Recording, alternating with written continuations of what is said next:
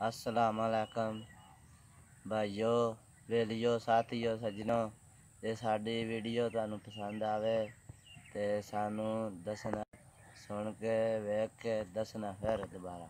ਅਸਾਂ ਨਵਾਂ ਚੈਨਲ ਬਣਾਇਆ ਤੇ ਵੀਡੀਓ ਚਾੜਨੇ ਆ ਜਿਵੇਂ ਕਿ ਤੁਹਾਨੂੰ ਗੁੱਜਰ ਸਾਹਿਬ ਨੇ ਦੱਸਿਆ ਕਿ ਇਹ ਸਾਡਾ ਨਵਾਂ ਚੈਨਲ ਹੈ ਤੁਸੀਂ ਸਾਨੂੰ ਕਮੈਂਟ ਵਿੱਚ ਇਹ ਦੱਸਣਾ ਕਿ ਅਸੀਂ ਵੀਡੀਓ ਚੰਗੀ ਬਣਾਉਂਦੇ ਆ ਕਿ ਨਹੀਂ ਬਣਾਉਂਦੇ।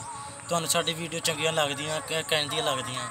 ਉਸ ਤੋਂ ਬਾਅਦ ਸਾਡੇ ਚੈਨਲ ਨੂੰ ਸਬਸਕ੍ਰਾਈਬ ਕਰਨਾ ਨਾ ਭੁੱਲਿਓ शेयर करें इस वीडियो को लाइक करें कमेंट करें